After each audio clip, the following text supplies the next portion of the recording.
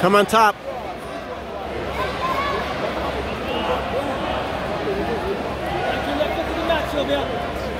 Hold the heel.